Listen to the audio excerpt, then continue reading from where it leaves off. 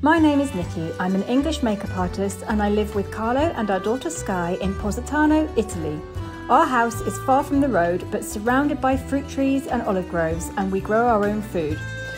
We'll show you what it's really like to live on the Amalfi Coast. Subscribe and welcome to the Positano Diaries.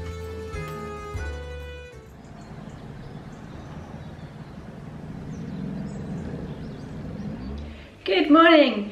I am going hiking again today and Carlo is not because today is All Souls Day. So he will be down in the cemetery. There'll be lots of visitors for him.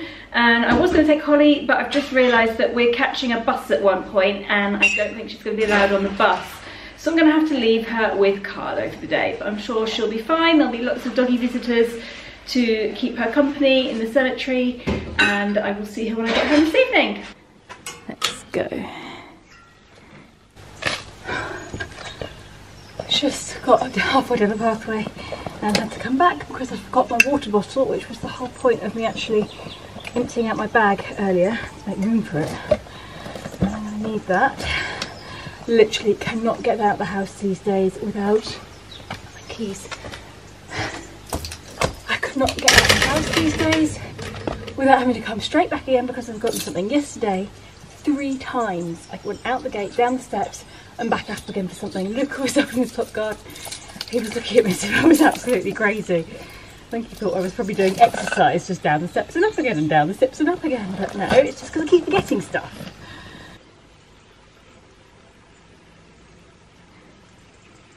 Morning, sheepies. I'm still waiting for my neighbour to get back to me about the olive oil. Um, hopefully they'll call me in the next day or so. I know they do a bit pretty much every day, but hopefully we'll be doing olive oil soon. I better start walking because I've got five minutes till I'm supposed to be meeting Lucy at the road. It's pretty spectacular skies today though. I thought I had just spotted something completely new, but I've realised what I'm actually looking at. I'm going to zoom in. That wall down there, right behind the church, is dark red. And I thought, oh, they must have cleaned up that wall and painted it dark red. That looks nice. I've just realised it is leaves turning red. I have arrived in civilization, so mask on. And there she is.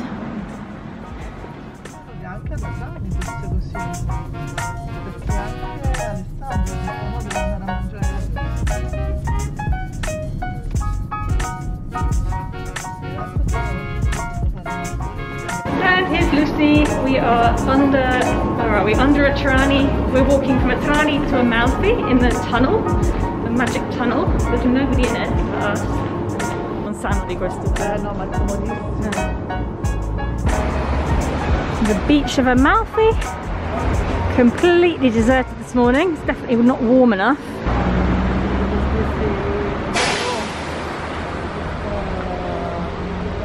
So we are catching the bus up to Ravello and then we're going to walk one of the pathways down back towards Atrani.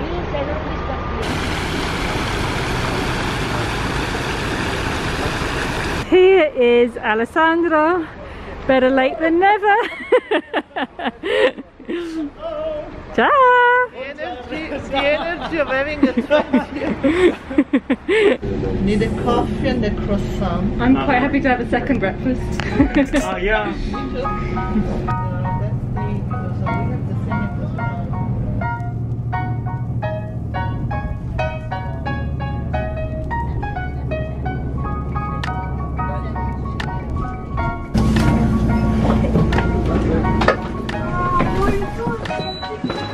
we have arrived. Ah. Where are we going next time? Wow. Monastery. It's uh, the monastery of San Nicola. It's about uh, three miles hiking together. Three miles? Three miles, and then uh, when you get there, you can hike to Tramonti, which is behind the mountains. Wow.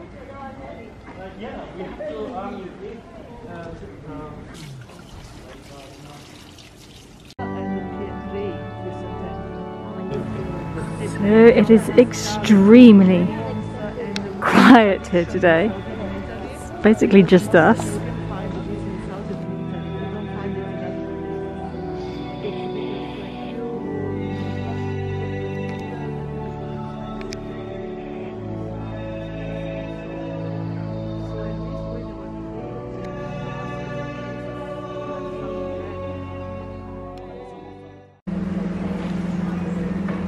Thickened breakfasts are always a good idea.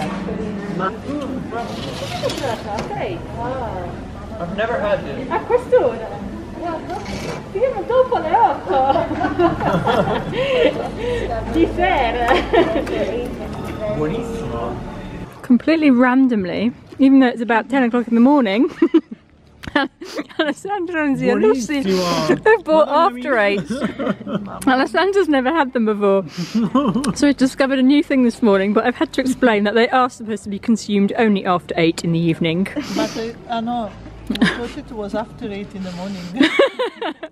That's cheating. Buonissimo. I'll try for the chai one because Yeah. I'm like Go on. Classic We're afternoon. really having a chocolate feast. I have also got a cornetto full of chocolate. Yum. and walk it all off afterwards, yeah? Okay, today is soul, Fat Souls Day. well, yesterday me and Lucy had planned to take you uh, to Scala, which is uh, the other village Yeah. in front of us, and uh, starting from the main square, which is uh, that direction, then to hike all the way up to the ruins of a castle, of a medieval castle, which is beautiful, and also the, the location is very strategic and it's, it's wonderful because it's between the two valleys here and the other one, the valley of the paper mills. But as you can see, there are clouds, mm. and yeah, we would have been hiking in the middle of the clouds. Okay. We preferred to stay here, a little bit down the elevation, and then to continue down to Atrani and Amalfi. Okay. Yes, because I went and did the um, the uh, ski lift to Castellammare up to Monte Faito and did a huge hike there, and it was all in clouds, so it's definitely not worth doing it on a cloudy day. We're going to go for a little walk around Ravello first. We're walking up towards the posh hotel area at the moment. How it is uh, structured, Ravello, right now, is different comparing to the Middle Ages. Because the square, the main square, right now didn't exist. Um, there were palaces before the church was built. And the main church was actually uh, what it is nowadays, Piazza Fontana Moresca, where there is a fountain. And that used to be the place for the local market. And it was also strategic because it was uh, closer to the ancient walls of Ravello, where we are going, and um, and closer to the communication way with the other villages of, uh, villages of the coast. A tradition of uh, melting the blood. Then uh, they do the procession around the town with the fiends. And they carry, yeah, So the Hotel Caruso is closed, but the Hotel Caruso cat is obviously being very well looked after. His name is Fluffy. And uh, Ravello is the town of cats. That's why we love him. Hey Fluffy. Facendo pulizia. Okay, this church is uh, San Giovanni del, del Toro's church. It's uh, one of the oldest in town. What is really fun, we can't see it from here, but inside there's a church above another one. So this church is above the old uh, church, and when you go inside, there's a glass, and you can see the old dome, Wow. which was made during the 9th century, while this one uh, was made during the 11th century. Didn't know that. And it's beautiful. Even uh, if the columns you see here are Roman columns taken from uh, I don't know where, because there were lots of Roman villas and temples, uh, and during Middle Ages when they built churches, they also took the columns uh, to decorate the churches. That um, what used to be the palaces. No, I said that it was the residence of popes because when I stayed there, they told me about it, uh, a painting uh, in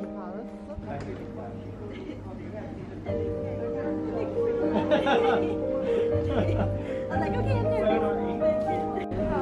Actually, this could be a useful piece of information. If you ever need a laundromat in Ravello, it is right next to the Hotel Parsifal. Right next to the Piazza Moresca.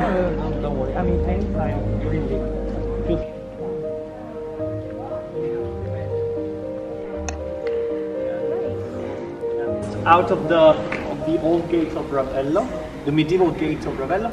As you can see, we have two towers. And of course they have built homes inside it. And uh, this is so fascinating because when you hike, you realize you get out of the of the old town and you walk and you reach the other villages according to history. So you walk in history.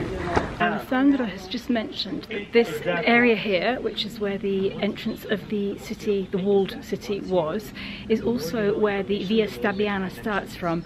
That is the pathway that he, he explained about in the chestnut hunting video that starts from Ravello and goes all the way to Castellammare near Naples and it starts from right here outside the city walls. We are back in the main square and we're going to start walking down in a minute. We're just coming to the Villa Rufolo. During uh, Middle Ages, uh, lots of rich families, as Alessandro told you, were uh, living here in, uh, in Ravello and in Scala. Many of them, after uh, the, the end of the Republic, of the Amalfitan Republic, uh, lost properties and money. Some of the properties were sold to different peoples, to different owners, until uh, the 1800s and 1900s, where the villas were completely left abandoned. And uh, during the 1800s, uh, there was uh, a Scottish lord, Sir uh, um, Nevile Reid, uh, who decided to stay here uh, after the Grand Tour of Italy. Uh, those uh, mostly British and Scottish people uh, were um, seeing uh, uh, um, the ruins of Pompeii and Naples, uh, and uh, they were going to Paestum, but on the way from Pompeii to Paestum, they were stopping on the Amalfi Coast. And they loved the Amalfi Coast so much that they decided to live here. Imagine that there was no road for cars to come up here, so they arrived uh, on mules. So we are we are starting our walk just off to the side of the tower, which is the entrance to the Villa Rufolo. And here there are steps that start to lead all the way down to Amalfi and Atrani.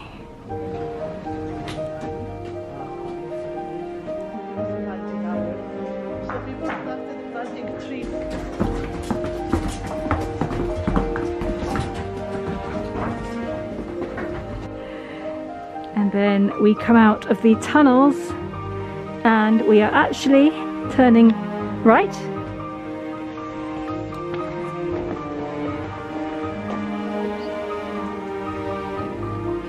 Nice apple tree here.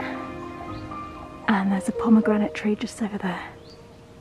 Yeah, yeah, please, anytime. I told him as soon as things are better, I'm gonna go. Alessandro has just noticed that this is one of the old gates of Ravello. It's written there, Porta Porta Donica. Donica. I just saw it now.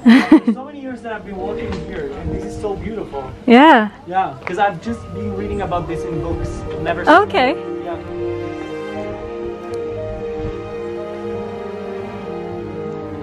So you could take those stairs there to go to Minori, but we're going this way towards Amalfi, which involves a quick little walk along the road. And this is a persimmon tree.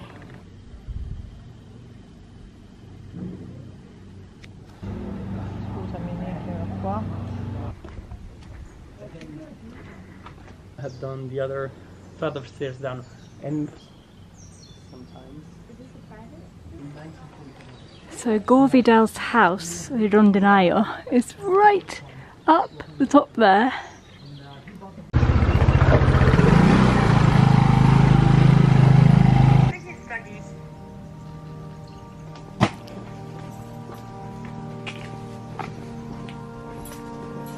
You go, you continue, you walk for 15, 20 minutes, and you, you end up right, um, right at the entrance of Villa Cimbrone.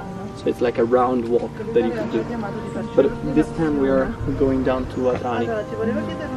Alessandro is saying that this is one of the steepest pathways that he knows of in the area. If you're walking up it, it actually kills you because it's incredibly steep and inclined. He was going to explain why, but now he's way ahead of me, so I probably missed that.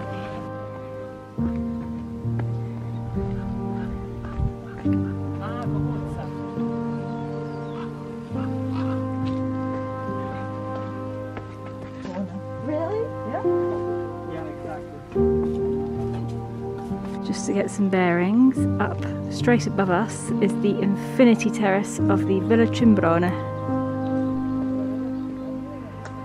Beautiful views along this pathway.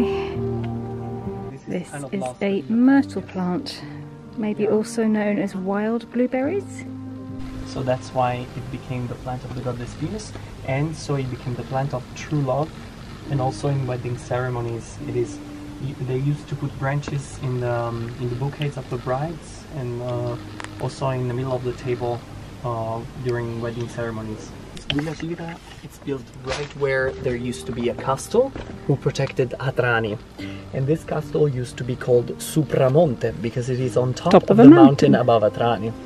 And to reach this uh, castle, fortress, um, there was a, a, lo- a steep uh, flight of stairs up, which I will show you just around the corner. And it was made on purpose. I think it was made on purpose just to give distance when Atrani was attacked by enemies, pirates. Yeah. Um, so the people of, Af- of Atrani uh, fled here, and they wanted to give distance to the enemies. So Yep, that is definitely very steep. And we are now going down it. It's a maze of alleyways, alleyways and a flight of stairs, and it's so beautiful because it's really off off the beaten track, the beaten path in this way, in this case. But I. These Uh, next- yeah, really big steps as everything. well. I was trying to do a time lapse going down, but it's actually too steep. I need my hands free to hold on to the sides every now and again. Possibly not the best staircase to do if you have knee problems. he's changing the because. It's pretty tough. Lucy. And we have made it back down to the road where the Ravello traffic light is. So we will cross the road and follow the steps down.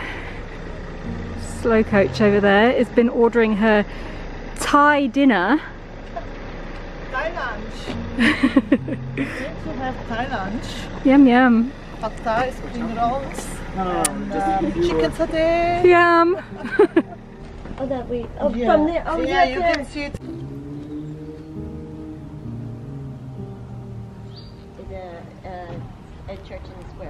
Square. Diretto or Ah, directo, Diretto? directo, Diretto.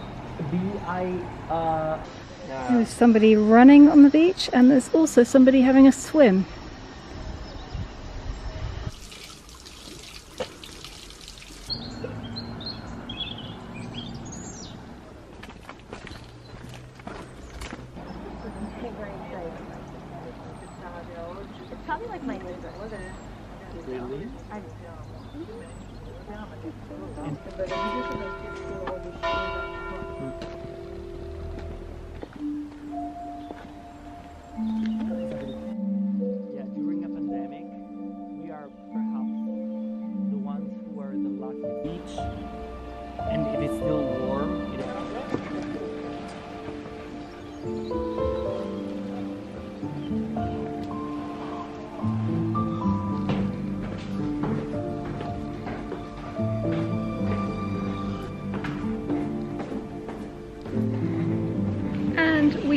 Arrived in the Piazza of little church in Atrani.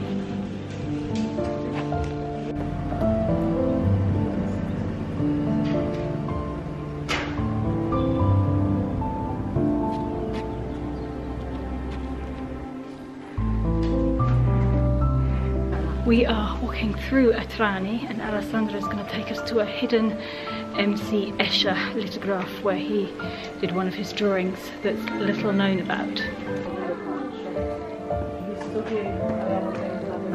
So many times when European visitors uh, came exploring Atrani, they uh, were mistaking Atrani for Tunis or Algeria Ah. because the maze of alleyways re- was really similar to the alleyways in Tunis, like a like a city of the Maghreb in northern Africa. And this is where we are, the the uh, MC Escher corner Ah, here. So uh, this is how it is where we are now, Yeah. and this is how he drew it.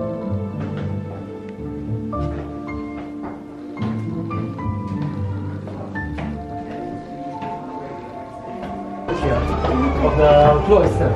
Just- oh my god, yeah, he's just found his sister.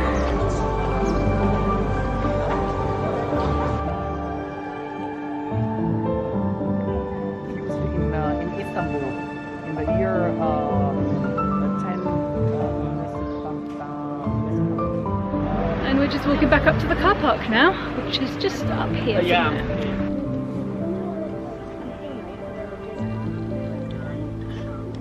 Thank you. Bye Ci vediamo la bye. ok? Buon pranzo. Eh, buon pranzo. eh. Bye bye. Ciao, ciao. Ciao. Ciao.